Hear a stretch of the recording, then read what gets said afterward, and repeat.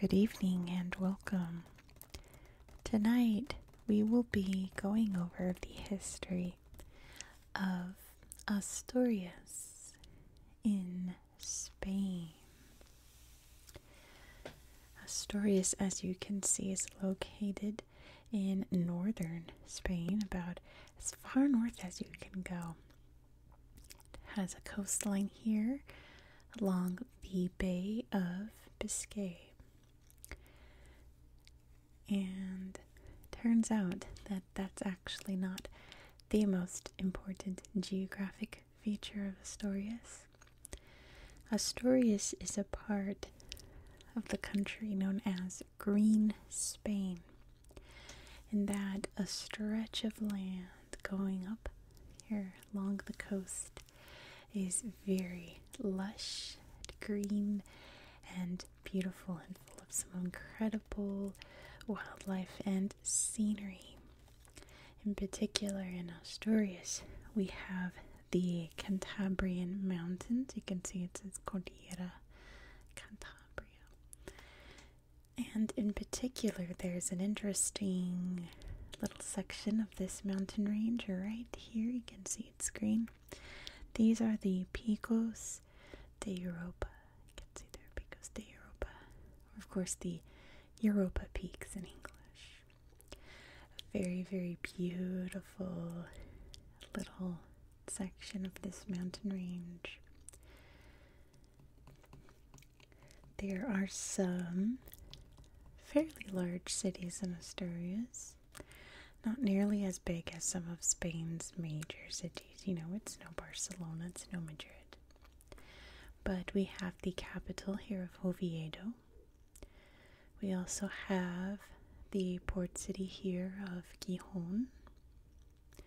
There's Aviles also. We'll take a look at these places on Google Earth later in the video. There's one other little interesting geographic part of Asturias, and it's down about here. And it's in this area where there are very large mining basins of coal. And these are the, the, the big coal industry section of Asturias. Despite it having all of this beautiful nature and scenery and coastline, it's actually fairly industrial little corner of Spain. So along here we have the Nalon Valley. You can see the river cutting through here. And there's also the Caudal Valley in this area as well. It's a very tiny little principality here compared to others in Spain. It's quite small. Before I get into history, I want to quickly thank a viewer named Felix who messaged me on Instagram because they live in Asturias and wanted to help with my research, and they sent me a bucket load of information about history and geography. So, thank you very much to Felix. And if anyone else out there lives in an area that you know is coming up, feel free to message me on my Instagram. It's just ASMR Geographica, or you can email me, however you want to reach out, and uh, offer up your services. I'll gladly take you up on that. Any Kiwis, any Aussies out there, you know you're coming up in a minute. So, thank you again to Felix. But let's jump into the history section because Asturias has one very unique thing about Spanish history. Also, apologies if you can hear my tummy rumbling. of course, it was not rumbling at all until I hit record, because that's how it always goes. Our history is actually going to start way, way early in the history of humans, even before the history of humans, because we have evidence of Homo erectus and Neanderthals living in this area. But our very, very ancient ancestors loved their cave paintings, especially in this corner of Spain and France. There are some amazing ones in Asturias. Now, most of them are uh, not in this region, they're mostly in Cantabria and other parts of northern Spain, but there are some here, and we, we will take a them. Sorry, my, my tablet likes to turn itself off. It's very annoying. There it goes again. Come back. Come come back. You can see everything there. I'm just gonna have to hold it. Okay. The Cave of Altamira, which is in the neighboring region, so we're not going to talk about Altamira, but we are going to talk about the Paleolithic cave art of northern Spain. It says 17 decorated caves of the Paleolithic age were inscribed as an extension to the Altamira cave inscribed in 1985.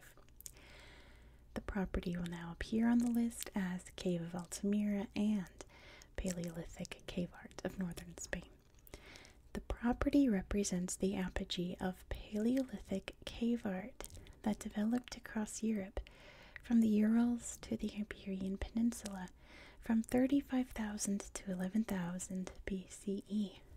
Because of their deep galleries, isolated from external climatic influences, these caves are particularly well preserved. The caves are inscribed as masterpieces of creative genius and as the humanity's earliest accomplished art. They are also inscribed as exceptional testimonies to a cultural tradition and as outstanding illustrations of a significant stage in human history. I won't show you any of the photos because they're of Altamira, and there's not that many anyway, so don't worry, you're not missing out on too much there. But that is where the very, very early history begins here.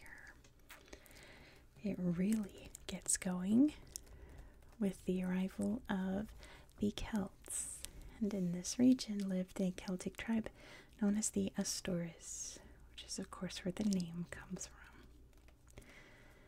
The ancient peoples here also built lots of interesting um, megaliths, which are like stone monuments, stone important areas, typically holy areas, I presume, things like that.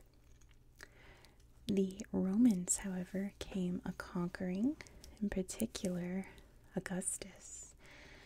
Uh, fought for this region between the years 29 and 19 BCE, finally taking over. They would rule for quite some time until the collapse of the Western Roman Empire. In the 6th century, the Visigoths came in to the region, bringing their culture and, more important, bringing their religion, which became Christianity. And this becomes very important by the year 718, because further south, a few years earlier, in the year 711, a Muslim army invaded southern Spain from northern Africa, which historically they're now known as the Moors. And they slowly came up the Iberian Peninsula, conquering as they went. And they reached a cave here in the mountains by 718, and they were fought back by King Pelayo and it was the first victory against the invading Muslims. And it was a big, important victory. Um, Pelayo became the new king of their Christian outpost kingdom since pretty much the entire Iberian Peninsula was conquered by the Moors, except this region here. They held on to their Catholic faith. And it was here that the Reconquista began, the world's longest war, in which the Christians slowly, slowly but surely reconquered the peninsula from the Muslims. The capital was located right here, um, known as Covadonga, I believe. Um, but it eventually moved to Oviedo in the 9th century. As the kingdom expanded, reconquering their lands, the centers of power moved, and eventually the uh, kingdom of Leon, which had you know expanded out into, became far more powerful than anything happening here, and the capital was moved. In 1388, an interesting agreement was made that any heir to the throne of Spain would be the prince or princess of Asturias. And that continues today. King Felipe's daughter, Princess Leonor, is the Princess of Asturias today. Of course, spoiler alert by 1492, the entire Muslim population was pushed out of Spain. At least the ruling forces, right? That they would push out the rest of the Muslims in the upcoming years of the Spanish Inquisition. This region was, from what I can tell in research, just kind of not nearly as important as other areas. Um, it did become a center of learning and importance during the Spanish Enlightenment of the 18th century. But it soon became known as a place of rebellion. Uh, during the Napoleonic age, when Napoleon took over Spain, the region rebelled against that. The region was very active during the Carlist Wars, a series of Spanish civil wars. And then hold on to that thought because we're going to come back to that in about a hundred years. But first, it was in the 1830s that the coal mining industry began. And soon, industry of all kinds started to blossom in the area, like steel and um, lots of railroad development. This led to a lot of push for workers' rights. There are many different protests, union organizations in the area. The largest, definitely, being the big uh, protest from 1934 to 1936, where the workers were protesting against, from what I can tell, changes in the government that would have negatively affected them. But bigger things are on the horizon. Being named Franco, right? The Spanish Civil War would break out right after that. And the area would fight back against Francisco particular, one large battle in 1937 was the Battle of El. Mazuco. I'm not very good with Castilian Spanish. But uh, Franco would take over all of Spain and run his fascist dictatorship until his death. But during that time, industry greatly uh, boomed in the area of Asturias. Uh, my friend Felix said it's it was done on purpose to keep the workers busy so they wouldn't protest, which worked, I suppose. From what I've seen from, from Felix and other sources, is that one of the main issues in Asturias today is the aging population. During the Franco years, many people left, understandably, but many people have been leaving the region for other countries or other areas of Spain, uh, leaving behind the older generations. Um, the the population is getting up there in years. there aren't that many young people there to replace them, and that's becoming an issue, but we will really have to see where that goes in the future? So, in a big old nutshell, because there is a lot of history here, this was a, a massive summary. Uh, that is the history of Asturias. So, why don't I grab my tablet and we're going to take a look around this little principality? Okay, hold on. I forgot. Before we head to Google Earth, I forgot to show you the other UNESCO site. That's very important. The monuments of Oviedo and the kingdom of the Asturias. I meant to pull this up when I said the capital moves to Oviedo, and I completely forgot. But let's read this. In the ninth century, the flame of Christianity was kept alive in the Iberian Peninsula in the tiny kingdom of the Asturias. Here, an innovative pre Romanesque architectural style was created that was to play a significant role in the development of the religious architecture of the peninsula. Its highest achievements can be seen in the churches, and, and let's hope I pronounce these right. Forgive me if I don't. Santa Maria de Naranco, San Miguel de Lillo, Santa Cristina de Lena, the Cámara Santa, and San Julián de los Prados, in and around the ancient capital city of Oviedo.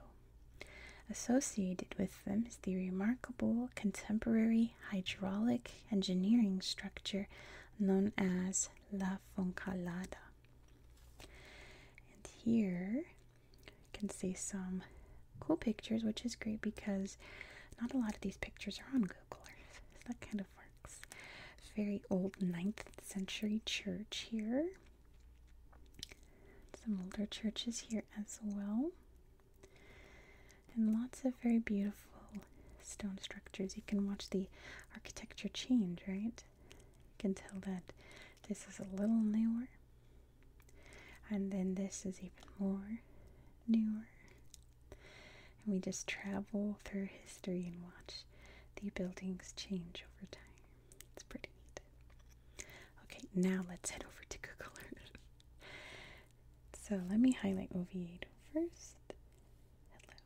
Thank you. So I can zoom out to show you exactly where we are in the world. So here is Spain. There's Portugal right there. Here's the rest of Europe. United Kingdom's up there. Africa's down here. And we are up along this coastline here in the very north of Spain. Let's check out. We actually let's look at this slideshow. It's pretty good. Shows you some more of the really cool architecture here in the city. None of those really, really old buildings we saw on UNESCO, but some very cool buildings as well. I like this little mishmash here. It's almost Italian, has that feel to it. I wonder if these were built more in that Enlightenment area or on time of the 17th century, right? Beautiful fountain. See, this almost looks French, right? Interesting mix here. Buildings. This looks like Rome. Almost.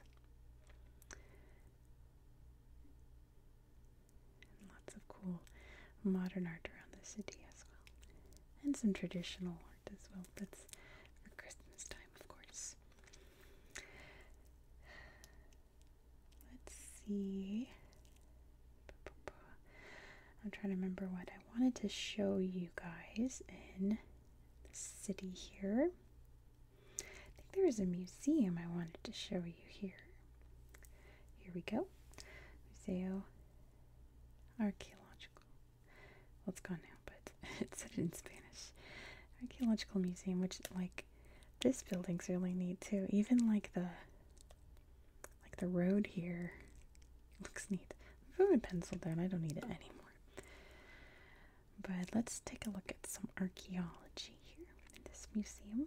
Beautiful courtyard.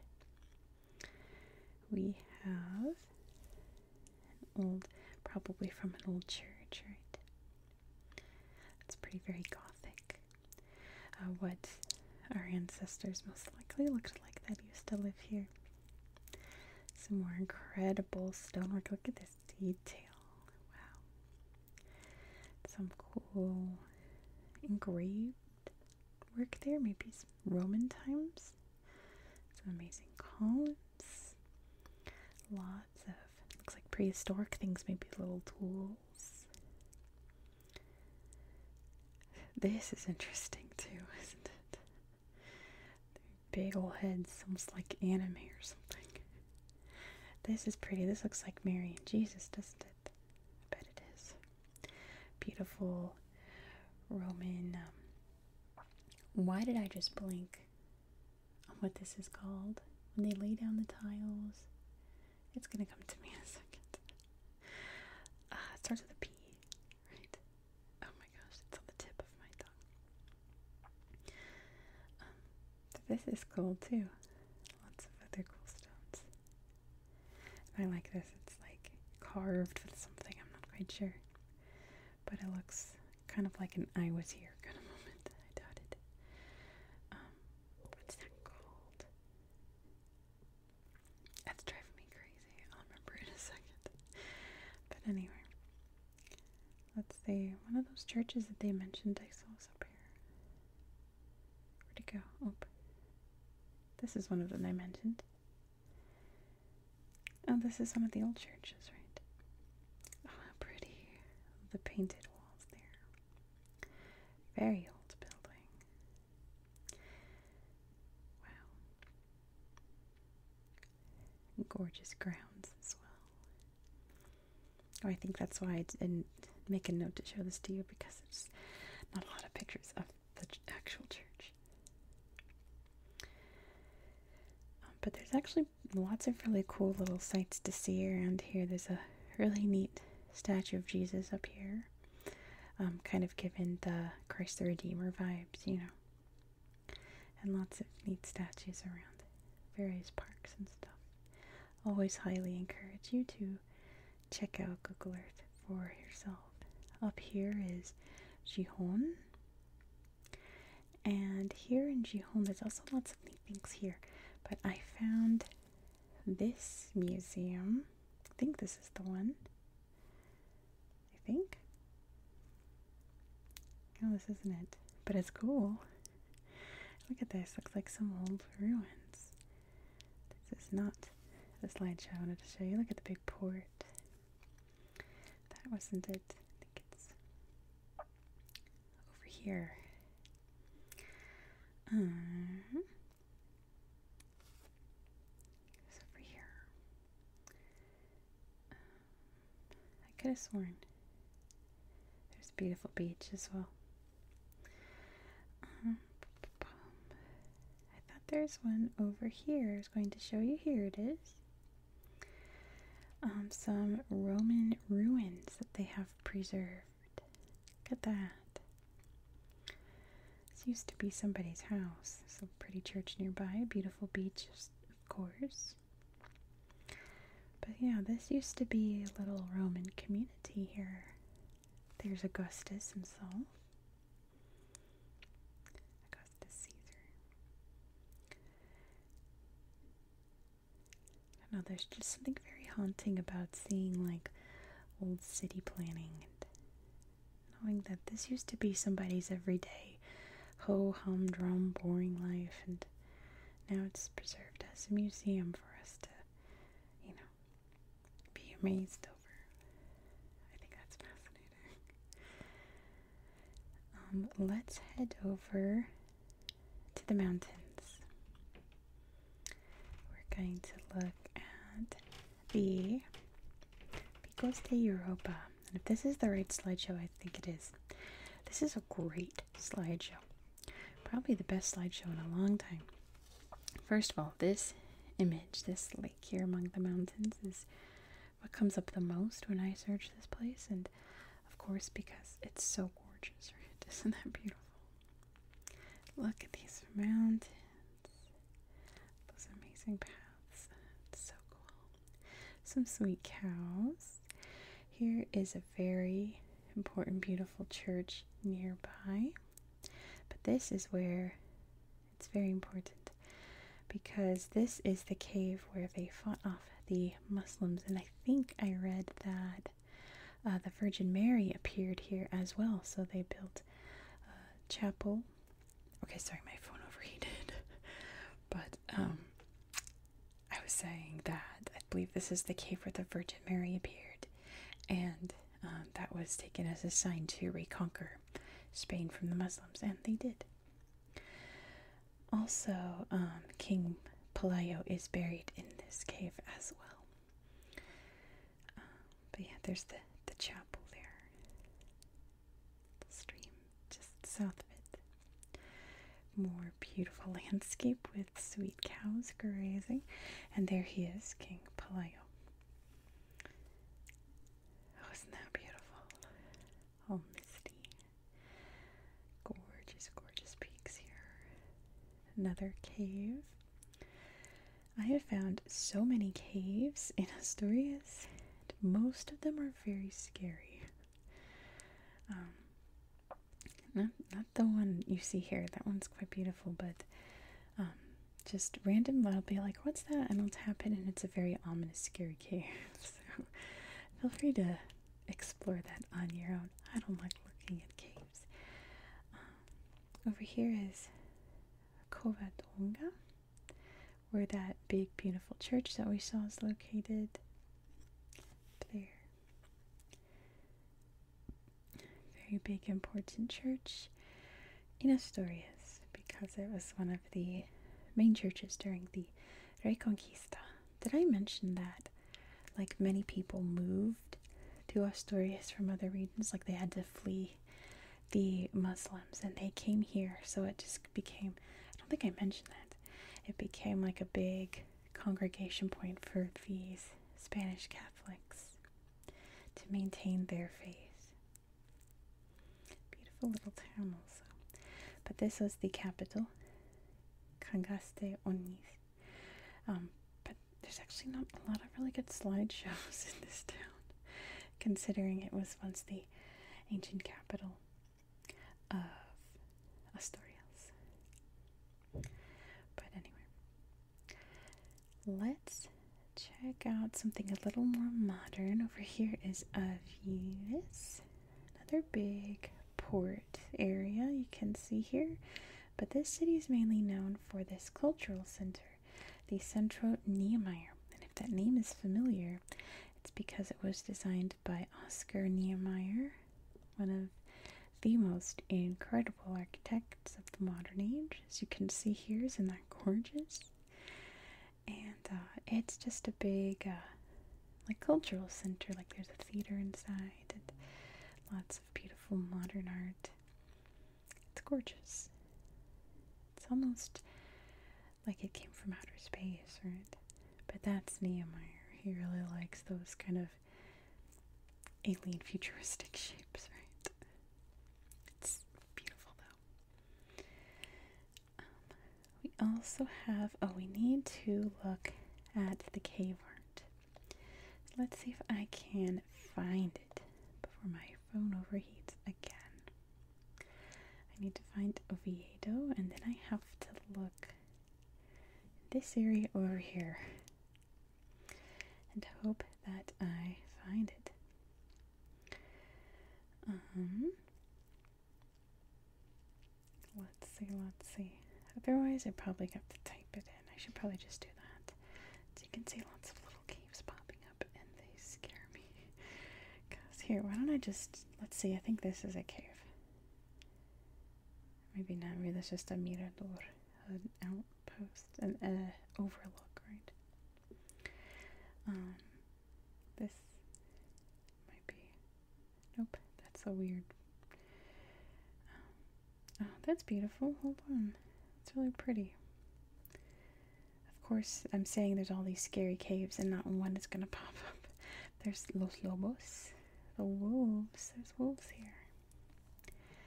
Very pretty. Let's see if um, it won't pop up somewhere. Actually, I think it's further south. Ha ha ha ha. I didn't have to type it in at all.